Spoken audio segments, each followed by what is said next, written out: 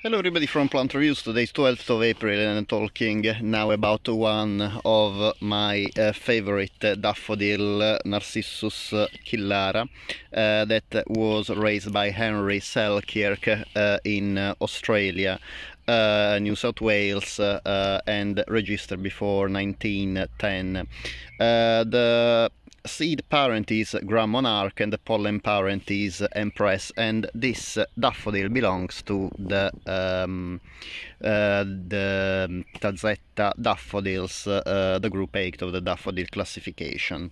Uh, the flowers uh, in my case are about 6 centimeters across, yeah 5-6 centimeters across.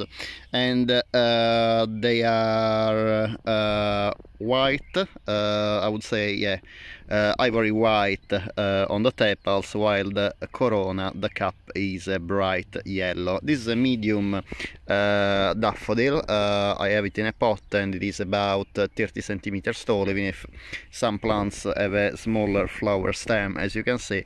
However uh, most of them three bulbs I would say are about 30 centimeters tall with the uh, flower stem that uh, is a little bit taller than the leaves uh, it is uh, uh, one of my absolute favorite daffodils, I have to say and uh, there's not many daffodils uh, registered in Australia I believe at least it's not uh, um, I don't have many um, Australian daffodils and on daffseek.org that is the main um, website for daffodil classification. You don't find many um, uh, raised in Australia, but certainly this one uh, there was raised again by um, a raiser in Australia, uh, a breeder in Australia, is definitely one of the uh, most exquisite daffodils for fragrance. The, the fragrance is uh, kind of fruity and sweet. Uh, it reminds me the uh, odoratus, but uh, the um, uh, maybe a little bit sweeter than the odoratus and uh, the flowers are a lot bigger by the way and usually produces between three and four flowers per stem. In some cases five as in this one. I apologize because some of the flowers have been munched eaten by slugs and snails but there's luckily some of them like these ones really really uh, beautiful very very nice. And uh, the fragrance is uh, yeah definitely fruity. Kind of uh, mango.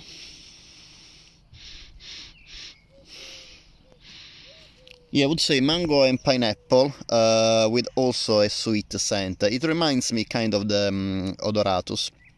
And uh, uh, it is a gorgeous fragrance really. You have to smell it to to know it. But uh, it is uh, definitely uh, one of the best daffodils I can recommend for fragrance. It is quite intense, uh, not as intense as uh, uh say Narcissus tazetta species uh, or uh, some other varieties like Avalanche or Geranium, but I would say at least a medium strength, so I can still recommend it in a fragrant garden, especially because the type of fragrance this fruit scent is quite peculiar and not very common, not even in tazetta daffodils, so that usually have a floral and sweet scent. There's uh, very few Tazetta daffodils uh, and very few daffodils in general, and uh, uh if they have this fruity fragrance, uh, they are Tazettas. I don't uh, have any other, at least so far, I didn't find this fruity fragrance in any other group other than Tazettas, uh, Tazetta varieties, and even in Tazettas, very, very few daffodils have this kind of fragrance, very few varieties. Uh, Narcissus killara is a, a, Narcissus that takes the name after uh, the uh, suburb uh, where Harry Selkirk had his uh, garden. And uh, this is indeed Killara. There is a suburb uh, in northwest Sydney.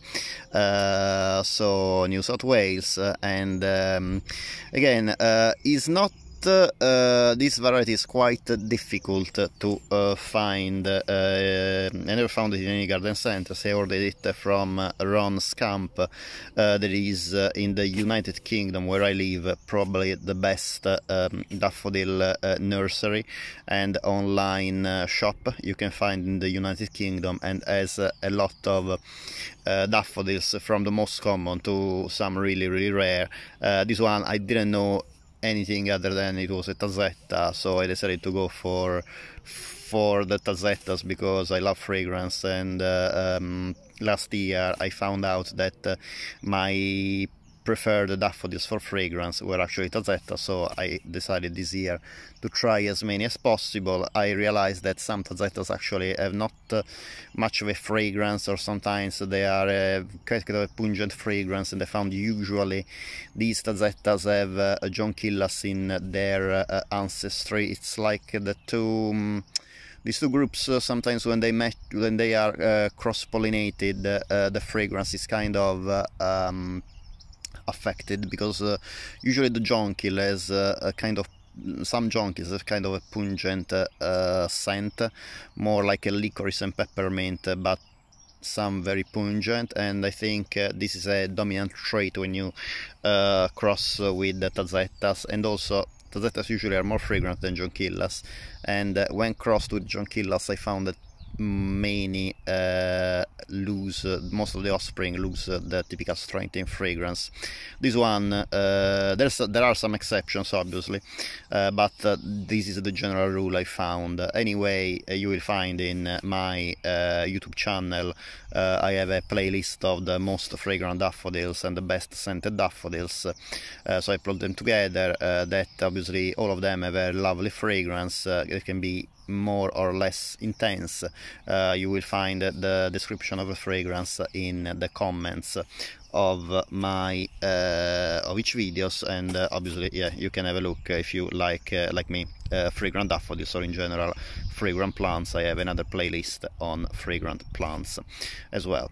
Uh, about this daffodil as usual for daffodils the bulbs need to be planted in um, autumn and uh, in about 10 centimeters deep or 10 centimeters apart and uh, well in a pot obviously you are going to pack them a little bit tighter and in this case obviously remember to fertilize the uh, ground properly to nourish the bulb for next year's blooming.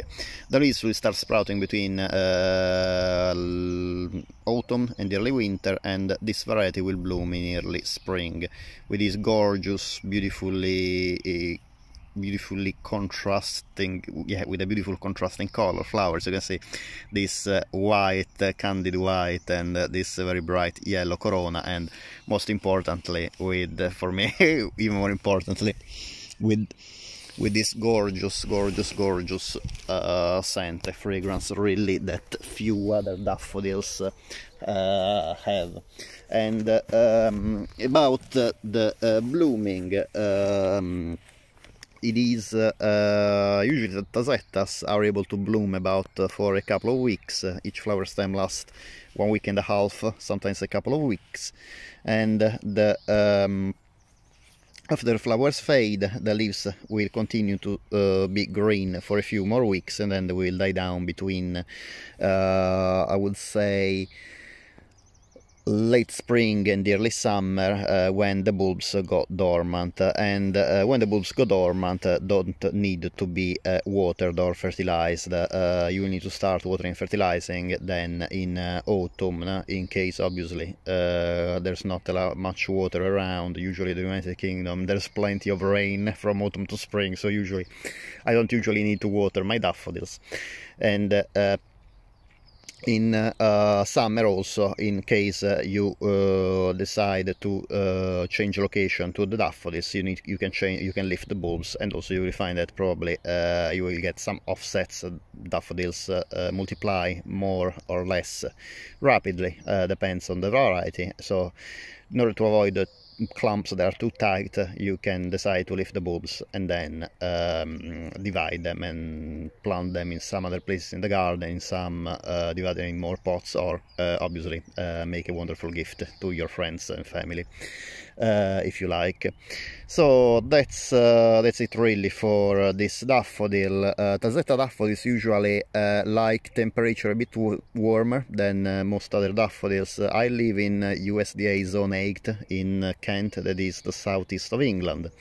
and it is almost a Mediterranean climate, I would say. We have pretty dry summers and um, pretty wet uh, autumn, uh, winter and spring with uh, temperature that rarely go below zero.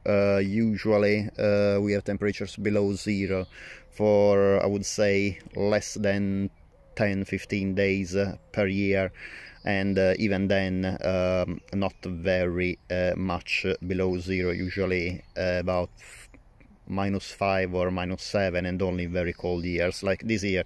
2021 the winter 2021 has been uh, pretty cold but last year we rarely uh, we rarely reached the temperatures below uh, zero.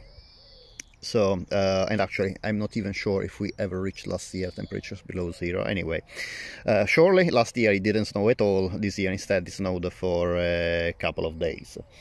Anyway uh, that's uh, that's the thing. I live in zone 8, so this this is definitely hardy in uh, zone 8 and uh, zone 9. Uh, I believe Sydney, when this daffodils, where this daffodils was raised, is either zone 9 or zone 10. so this is surely a daffodil that is hardy between zone 8 and 9, because Sydney is definitely warmer than Ashford in Kent, where I live. Uh, as usual, I hope that you enjoyed the video. Uh, thank you very much for watching. If you like this video, it would be great if you can uh, give a thumbs up. And if you like this video and my other videos on my youtube channel it would be great if you can please subscribe in this way. Obviously uh, you are it is completely free for you. Uh, but um, subscribing you um, get youtube acknowledge that you like my videos. And the more subscribers i have the more youtube promote my channel on the platform. As usual thank you very much for watching and i hope to see you next time Bye.